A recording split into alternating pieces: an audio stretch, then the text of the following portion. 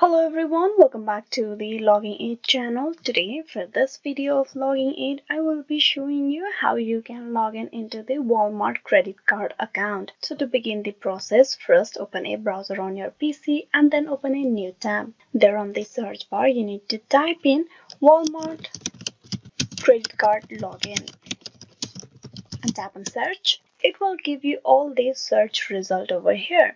So basically it depends on which bank or which credit card that are you using. So if you are using a credit card from the capital one bank you will be able to log in into the account from here. Likewise if you scroll down you will see the others as well. If you are using the other banks like you will be able to log in into the credit card of your walmart from here. So i'm just going to show you a certain example from the walmart here you need to click on sign in. Now to sign in into the account, you need to provide your username and below you type in the password.